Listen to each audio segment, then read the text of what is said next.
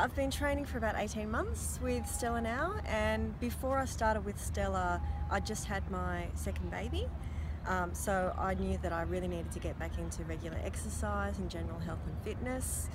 Um, I mean being a mum is fantastic uh, but it's really hard at times so I knew that I needed to really focus on myself and my overall health and well-being.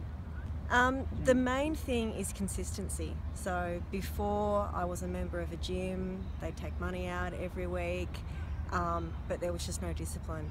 Um, so I could turn up to any classes whenever I wanted to, but I could go weeks, possibly months. Um, but with Stellar, I do regularly classes each week that I love. There's accountability there, um, and it's fantastic. Uh, so many things. Um, I love the outdoor element of it. I love the variety. I love that it's challenging each and every time. The trainers, Jess and Danny, are awesome. Um, and it's a great bunch of women, uh, a real community. It's fantastic.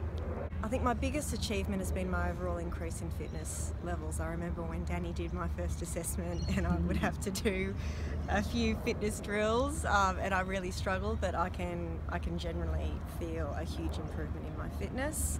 Um, especially with, uh, I suffer from asthma too, so it's, it's been amazing for that also.